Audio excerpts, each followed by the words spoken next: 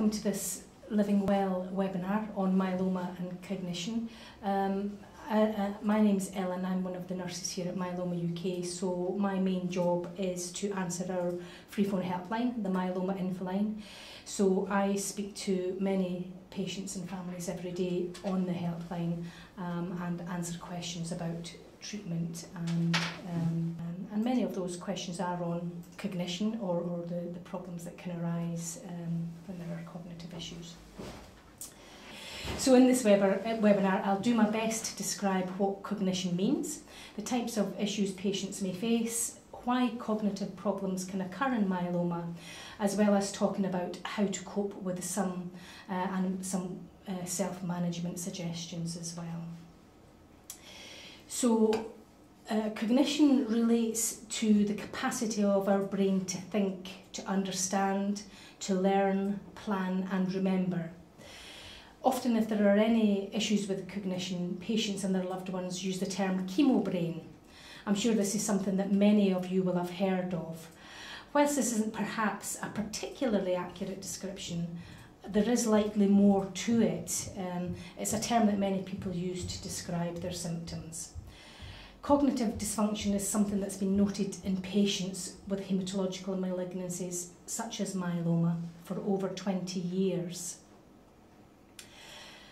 So looking at the problems that some patients may face, um, some of the symptoms uh, patients may experience if there's been any cognitive impairment might include poor memory. Uh, sometimes it takes longer to remember someone's name, for instance, or they may forget appointments an inability to concentrate. Patients often describe feeling muddled or have foggy thinking, and many have poor executive function. Executive function refers to the ability to strategize, plan, and organize. Older patients may be more likely to have psychomotor function issues. This refers to simple actions where the brain and other parts of the body need to communicate, such as for driving, making a cup of tea, or fastening buttons, for instance. Many patients and their loved ones say that these symptoms can be very frustrating and this is understandable. We get used to being at a certain level cognitively day to day and we do notice if this changes at all. more often than not, if there are days when we feel less on the ball cognitively, we can put it down to an event, such as feeling groggy after a poor night's sleep or not being able to concentrate too well if there's a lot on our mind. However, if these symptoms occur suddenly, or if they're severe or continue for a length of time, it's important to report them to your doctor or nurse specialist, as there may be more to it. So there are a number of reasons that myeloma patients specifically experience a cognitive decline and this list that you see uh, on this slide suggests what may contribute to it. Myeloma itself can cause some symptoms of cognitive disturbance. For instance, patients who have high calcium levels can experience confusion and disorientation. Infection as well can cause feelings of confusion and disorientation. We know that anemia commonly causes fatigue, which can lead to slow thinking, a lack of concentration, and generally feeling quite muddled. Even mild anemia can cause a reduced ability to think straight, to gather thoughts, and to concentrate. Emotional and psychological issues such as stress and anxiety can certainly have a negative effect on cognition. It's very common for patients to feel overwhelmed at various stages in their myeloma journey, especially at diagnosis, relapse or when starting new treatment. It's normal for short periods of stress to impair cognition briefly, However, a myeloma diagnosis sets off a course of stress-filled events which can continue over long periods and this can lead to depression, a loss of confidence and can, can have a negative impact on quality of life. The drugs used to treat myeloma, as well as some of the supportive treatments, do also have a part to play. Some studies have shown that patients do experience a decline in cognitive function after initial treatment, and this can be exacerbated following high dose therapy and stem cell transplantation, for instance. Most patients will experience a decline in cognitive function about for about one to three months after their stem cell transplant. and it does appear to resolve after about 6 to 12 months. However, unfortunately, a small number of patients may notice a continued mild impairment. Of course, further studies would be needed uh, and would certainly help to identify any links or risks. We also know that specifically steroids and thalidomide can cause decline in cognitive function.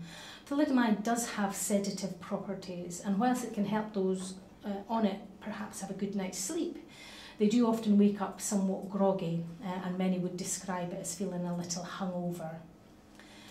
We know that steroids are known to cause mood swings, irritability, poor concentration, and agitation. I'll go into this um, a little more on, on the next slide. Other factors which might contribute to an increased risk of cognitive impairment would include age. There's a normal level of cognitive decline as we age. Sleep is also very important. Sleep helps cement memories and learning.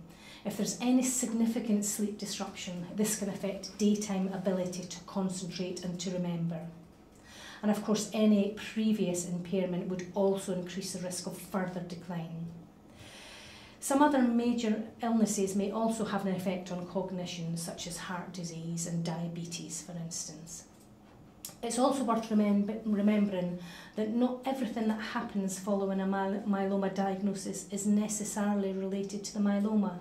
So patients can develop other illnesses and a decline in cognitive function out of the blue for no apparent reason may prompt investigations for, for dementia or, or Alzheimer's, for instance.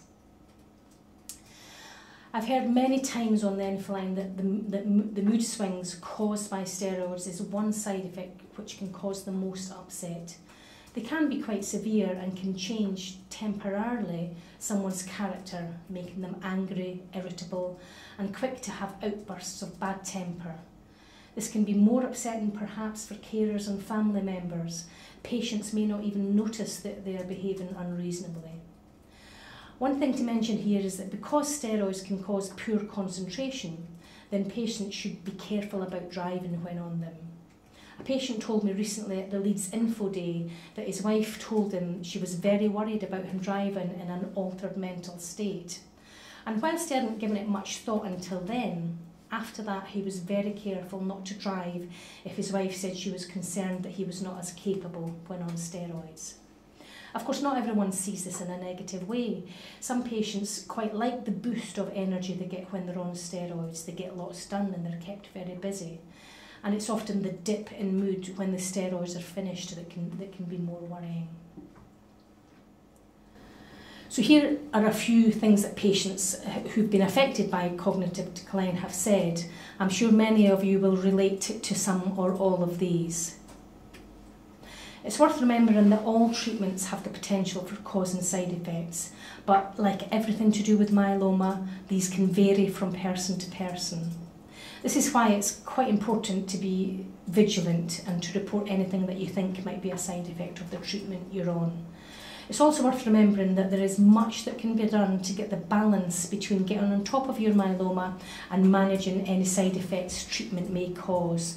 So please don't suffer in silence. Quality of life is something that's taken very seriously, and if you're feeling rubbish, then your healthcare team will want to know about it and will try their very best to improve the situation. So we'll now look at some coping strategies. It's often a good idea to keep a diary anyway to keep on top of all of the contact details and appointments necessary day to day. But if you're experiencing cognitive issues, it's absolutely a good idea. Some patients prefer to put all their appointments into their phone's calendar, set a reminder to themselves. This helps ensure that they don't miss anything. Setting alarms can help to ensure that you don't miss or forget about the important things. Perhaps writing a to-do list would be useful and I would suggest it's best to concentrate on one task at a time. Too many things going on will only complicate things further. Some patients tell us that doing crosswords, playing Scrabble, taking part in social activities or doing quizzes helps to keep them sharp. But physical exercise, as I mentioned in the fatigue webinar, can certainly help reduce fatigue and the grogginess it can cause. So, it's, eh, so if possible, do try to take regular gentle exercise. It's a good idea.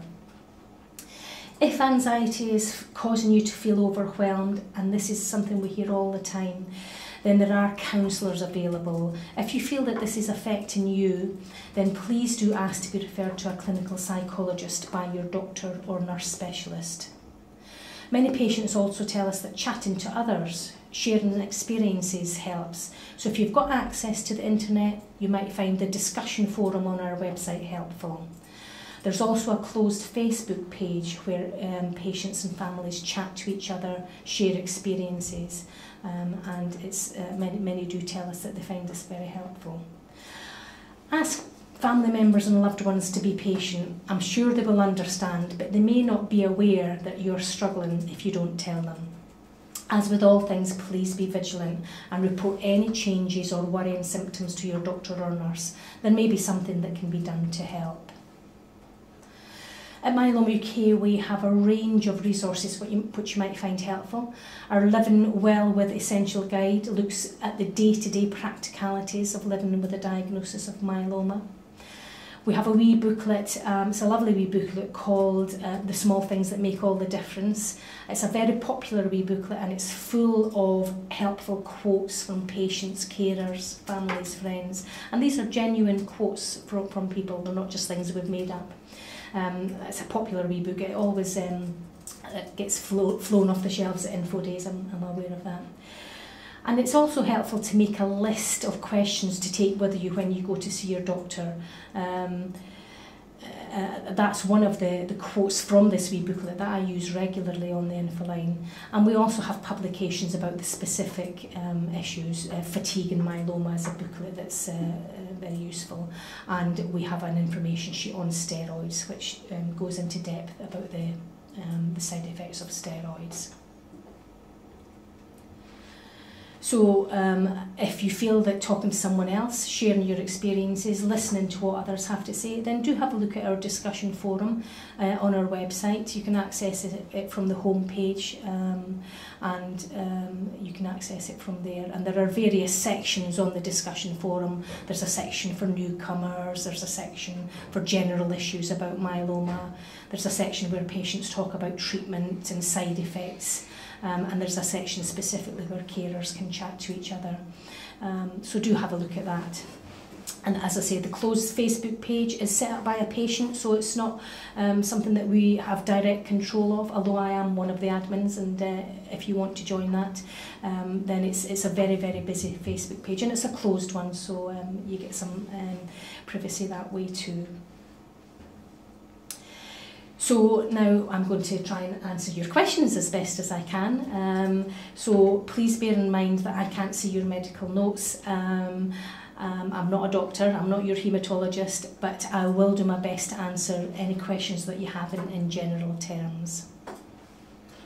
Absolutely. Okay, thanks for that, Ellen. Um, that was a really great presentation, and I think that it, it covers the basics really well. What, what we're going to do now is uh, have some questions.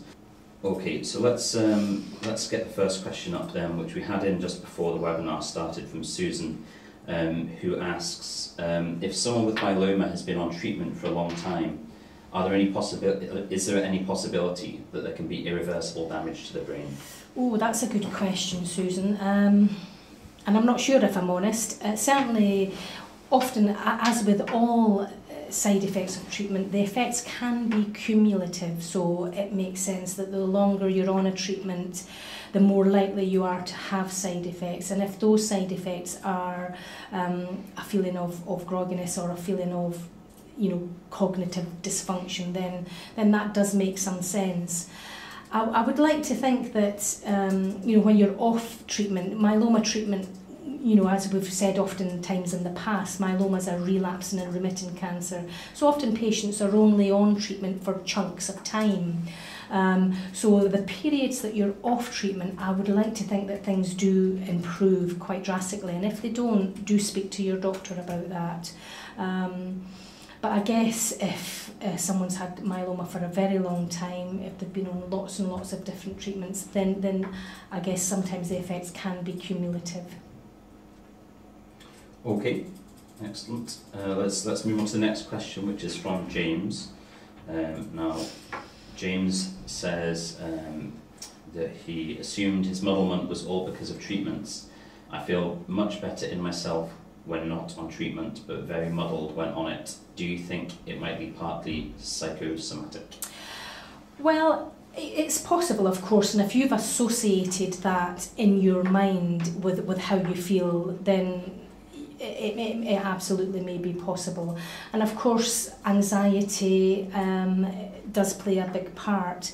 And, and when you're on treatment, there are, there are a whole range of anxieties that you may feel.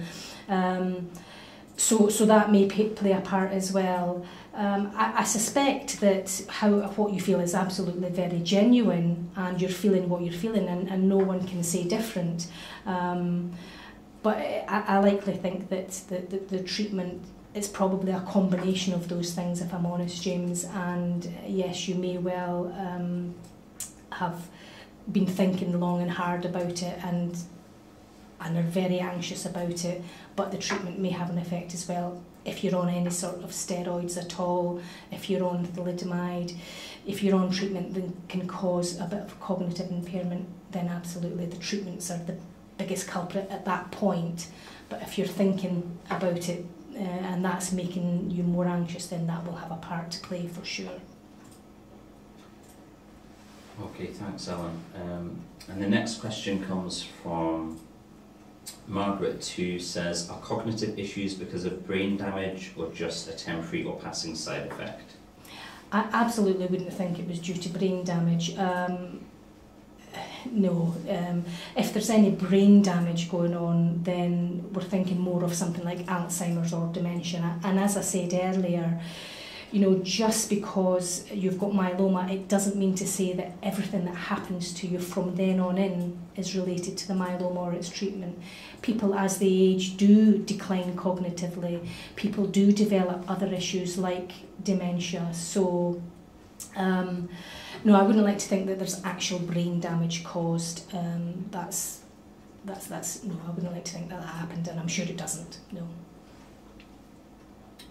Okay, and um, the next question then is from Stuart, who says, would activities like board games, puzzle quizzes, etc., count as brain exercises, or is it more about puzzles that you can do every day? Oh, I'm not sure what specifically what type of brain exercises are best. Um, but, but certainly we do know and patients do tell us that, that they do feel sharper if they do regular um, exercises where they are using their brain, they are thinking about things. Um, so uh, Sudoku, uh, Scrabble, um, chess, you know, anything where you're, you're having to think about things in, in an order certainly would help. And, you know, anecdotally, that's what we hear as well. So I'm not sure which is best, but um, but certainly doing something uh, rather than doing nothing is a good idea, absolutely. And, and physical exercise as well, as I've said, physical exercise, and this is something that has been researched. Physical exercise does help with fatigue, and fatigue certainly can cause you to feel muddled and groggy and, and not quite yourself. Okay, and there's a, there's another similar question, I guess, on, on brain exercise. Um, so let me just find that one. It's just come in um, from Steve, who says, would you recommend studying as a coping strategy, for example, picking up a university course after initial street treatment? Gosh, that's that would be that. Yeah, uh, uh, why not? And if that's something you want to do, if it's something that's a, uh, that's that, that's been in your plans to do, Um, it's always a good idea to have goals and plans for lots of reasons. It helps your feelings of self-esteem and your feelings of, of well-being. So if doing a, a course at university is something that you, you've always wanted to do, then why not? I would um, put in a wee note of caution that you perhaps don't take on too much because that can make things worse. If you've got a, a hundred things going on, if you're on treatment, if you're you know, if you're still working perhaps, if you've got so many things going on in your life, it can make things worse. But if it's something that you've planned, if you've set aside time to do it and you feel that it's not going to, to do that, then absolutely, yeah, absolutely. Keep your brain sharp, do some studying. Um, I think that's an excellent idea, but just be a bit wary that you're not taking on too much, I think. Okay, thank you. Okay, we've had um, a good number of questions in. Please do um, keep sending them in if you've got one, or maybe one of the other questions that have come in have sparked something off for you. Um, this question is from Jim, who says, is Velcade bad for causing um, chemo brain? And I wonder, Ellen, if you could actually maybe talk about some of the various drugs and how mm. different ones do or don't cause yeah. this effect. I haven't heard that Velcade is a particular culprit, I have to say. Um, I can't think why Velcade would, would cause chemobrain or a decline in cognition. Um, the biggest culprits are, are the steroids. Yeah, they can cause absolute, quite severe mood swings, irritability, and um, th those are the ones we hear about mostly. Thalidomide, certainly when it was used all those years ago in the 50s um, for, for pregnant women, it, it was used because it has quite a big sedative effect. And any sedative can make us feel a bit dull in thinking a bit groggy. Um, and that's why patients take thalidomide about an hour or two before they go to bed. Um, and then hopefully the effects will have worn off by morning um, and they'll have had a good night's sleep because of that. However, some patients do feel a bit, um, a bit groggy um, the day after uh, thalidomide. It's a bit of a hangover type effect, as I said. Um, those are probably the biggest culprits. Um, I'm trying to think if there are any others. And of course, because the um, uh, the, the newer versions of thalidomide, the um, the lenalidomide, the pomalidomide, these are all uh, sons and daughters of, of thalidomide. Um, it makes sense that they may well have that. It's probably a less of a risk with these drugs because they are further developed, newer versions of, the, of thalidomide um, are made to be more potent with less side effects. But it makes sense that they may well have a, a slight risk of that. Um, chemotherapy itself, chemotherapy is used, high dose chemotherapy prior to stem cell transplant.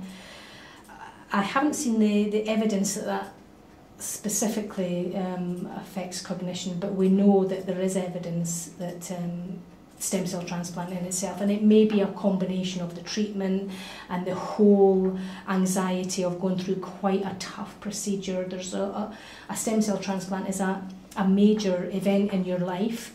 Um, it's quite a traumatic event. Um, so you know uh, I guess in many ways similar to kind of post-traumatic stress disorder. So, so that in itself. But but no I haven't heard that Velcade specifically Um, so it's possibly if you're feeling that way on Velcade, it may be the steroids if you're on those as well, or it may be um, something else. And again, please please do report it. Don't don't suffer in silence. Okay, thank you. Um, so we've got some other great questions in uh, here.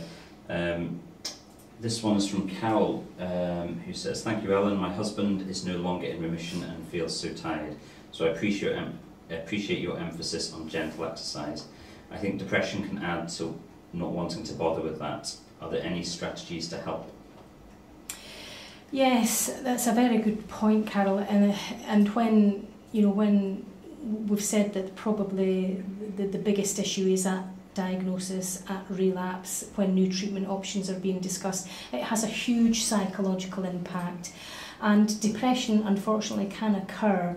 Um, I mean, there are antidepressants, for instance, do have their place as a temporary measure. They're, they're, they're good drugs. I know a lot of people do worry about taking a whole range of drugs and then taking antidepressants on top, but they have their place, and I would like to think that it would just be a temporary measure.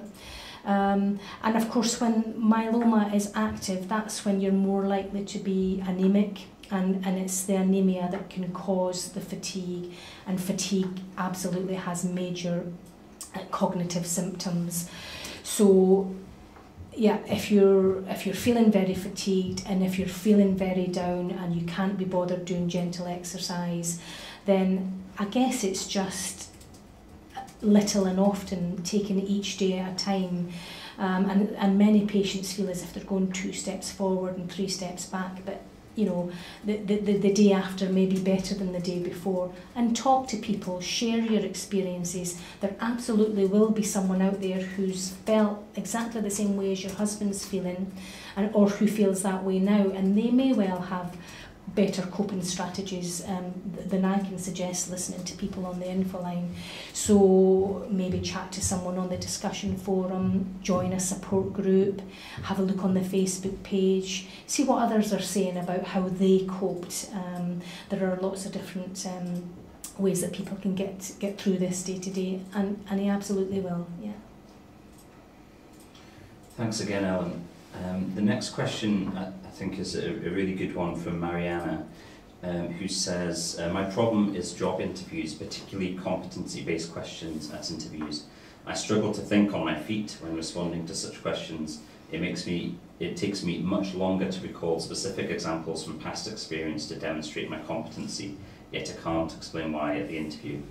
Despite lots of preparation, I end up appearing inept and vague when this isn't case at all. Any suggestions? Oh, what a shame, Marian. That sounds awful. I do feel for you. Gosh, it's bad enough um, attending interviews um, at the best of times, so, so that must be very difficult. Um, what could you do to, and, and, and you're doing all the right things, I guess, and, and being very prepared, lots of preparation. Um, lots of planning, perhaps um, playing it out with family and friends. Um, uh, maybe writing yourself down, you know, bullet points on note cards um, about the, the, the most important points that you want to raise. Um, I mean, I guess people who are doing interviews will understand absolutely and realise that people are, are nervous and you know anxiety can, can make you um, a little bit slower to, to think on your feet. Um, it's, it's quite a, a difficult one. That's quite a specific um, issue there, and I wonder if anyone else has has um, any um, ideas about what Marianne can do to to help. Um, but I think you are doing all the right things, Marianne, um, and it is. Um, uh, difficult to, I mean, you can't see why at the interview, why you're, you're feeling, and I suppose the more you think about it, the worse it gets, and it kind of, roller, um, it kind of gets way out of control, I'm sure. Um, it's a bit of a vicious circle, I'm sure. Um, I mean, maybe um, some counselling. I know, for instance, that cognitive behavioural therapy helps you to kind of rationalise your thoughts and it allows you to take some control and to take charge of your, your thoughts. You know, reminding you that you're in charge of your, your thoughts and your brain, not, not vice versa. So perhaps having a couple of sessions with a counsellor who specialises in cognitive behavioural therapy, that, that might be something I would suggest. But I do feel your pain, uh, Mariana. It sounds awful. Okay, thanks for that answer, Ellen. I think that that's that's um, that's great advice. Um, we've we've got two here that are very similar. So one from Peter and uh, one from Andy. Um, so I'll, I'll put them both together. Peter says, is there evidence that the myeloma on its own, excluding treatment, can impair cognitive function? And if so, is this worse if the myeloma is more active? with high paraprotein counts. Actually, sorry, let's just take that on its own. It's the next two that Okay. Together. So, uh, yes, absolutely. We know that myeloma, and, and that's why sometimes cognitive issues are worse at diagnosis when the myeloma is quite high, when the level of myeloma is quite high and the myeloma is actively causing problems. So there are a couple of reasons for that, um, and obviously the higher your paraprotein, the more active the myeloma is. And we know that myeloma patients are prone to having very high calcium levels in their blood, and this is due to bone breakdown. Myeloma causes bones to, to break down, down faster than they would normally, and that releases calcium into the bloodstream. And that high calcium level, and, and it's called hypercalcemia, you've, you've probably heard of it, um, can cause you to be disorientated and confused. And when I speak to patients on the info line and they say to me that they're feeling disorientated, confused, or a loved one's feeling disorientated and confused, the first thing I always ask is, A, have they got high calcium? Or B, have they got an infection? And again, we know that patients with myeloma especially if the myeloma's active, are very susceptible to picking up opportunistic infections. And if you've got a, a, a rip-roaring infection going on, then yes, you will be um, cognitively impaired, you will be a bit muddled, you will feel very, um, very groggy. So um, those are probably the two most likely culprits in, in the myeloma itself that can cause um, cognitive impairment. Other things can, can as well, for instance, we know that myeloma affects the kidneys and our kidneys um, filter all toxins out of our blood. So if the kidneys aren't working properly um, and you've been left with a level of, of toxins in your blood, that can also have an effect. Um, I'm trying to think what else about the myeloma specifically. Uh, th those are probably the biggest culprits. But yes, Peter, you're absolutely right. The myeloma itself. And, and it's a temporary thing. Once the myeloma is brought under control, patients often notice an improvement, and that certainly should happen, yes.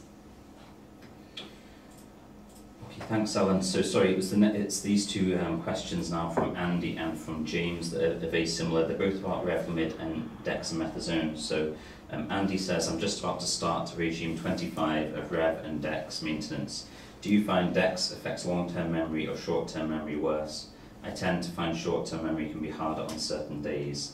And just to then uh, say that James's question is about um, Dex and Revlimid and how important is dexamethasone to that um, combination treatment? Yes, um, these are very good questions. Um, I'm not sure about certainly, it, it, the dexamethasone is the biggest culprit, absolutely, um, and it can cause short and long-term memory issues. Um, I'm not quite sure about the difference between the two, which which is worse, uh, which is made worse. That's that's not something that I'm very sure about. Um, maybe the haematologist would be able to tell you that. Um, and yes, short-term memory is is often affected when you're very anxious uh, and when you've got a lot on your mind. If you're starting a new treatment regime, you're worried about taking that, you're worried about side effects, you're worried about your myeloma being brought back under control, and you're worried about the what the future might hold. So there's all of these anxieties going on as well. Um, and it's hard to concentrate when you're um, when you're faced with all of that. So um, so certainly short-term memory will be affected and, and you'll find yourself forgetting things. Um, and, and you know, that's, that's quite a high dosage of, um, of treatment. 25 milligrams of Revlimid is probably the highest dose and that will you know, uh, providing the myeloma is brought under control nicely, that, that will be reduced. Um, and there will come a time when your myeloma is at very low, very stable levels that the dexamethasone can be stopped.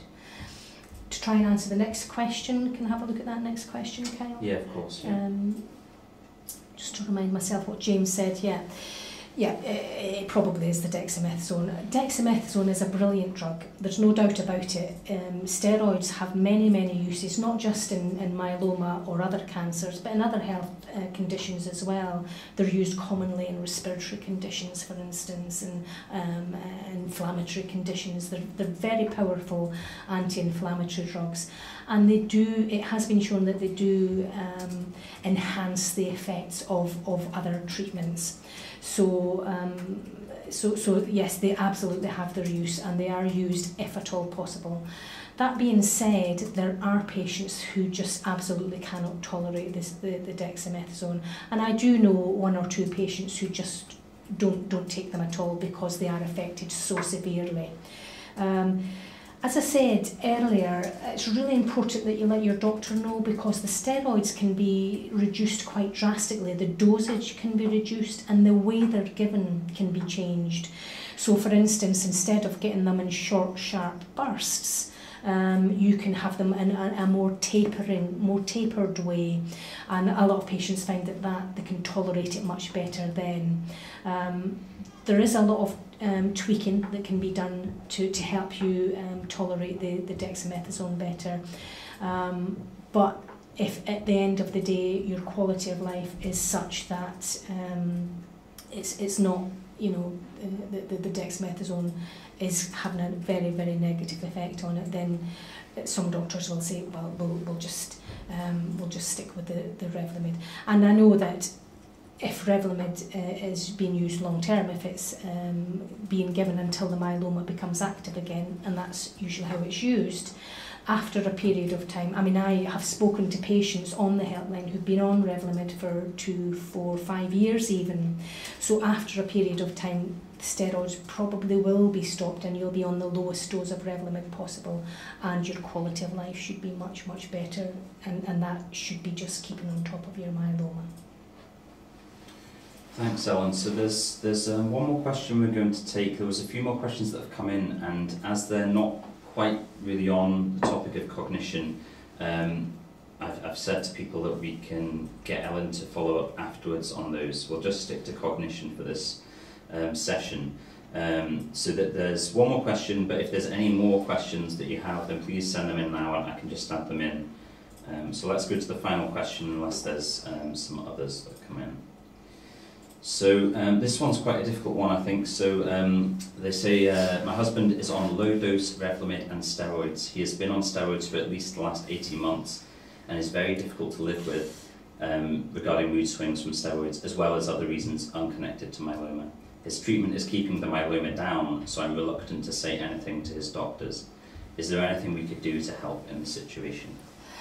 I know that a lot of people do worry um, that if they mention um, that, that side effects are, are having an effect on them, that the treatment will be stopped. Um, it is a big worry, but it's not always the case. It's not necessary to stop the treatment. Um, as I've said in, in the previous question, um, perhaps the, the dose of the steroids could be reduced further. Uh, for instance, I know patients who are on a tiny, tiny dose of steroids on a weekly basis rather than a bigger dose two, three, four days in a row. Um, but but the, the, I mean, it may well be that the Revlimid can keep on keep that myeloma very low, very stable on its own. It certainly is possible. Um, possibly when your husband first started on the, the, the Revlimid and the steroids, they both had a really big effect in, in bringing the bulk of the myeloma down. But now that things are in a, a bit of a plateau and stable, it may be that, that, that he could do without the steroids. I mean, I know that that um, the mood swings can be very, very difficult. And as I said earlier, sometimes it is more difficult for the person living with the patient. Sometimes the patient doesn't realise just um, how it's affecting them. So please do mention it. I mean, I don't know if you've said to your husband that he, that this is how he behaves and whether he realises that or not. Maybe having that conversation would be a good idea. But, but please do mention it to his doctors um, or, or, or take the nurse specialist aside one day at the clinic and, and voice your concerns. Um, you know, carers have a huge um, role to play in, in, in uh, living day to day with myeloma, and they sometimes have more of a role than the patient. They've got so much going on in their lives, they've got to deal with.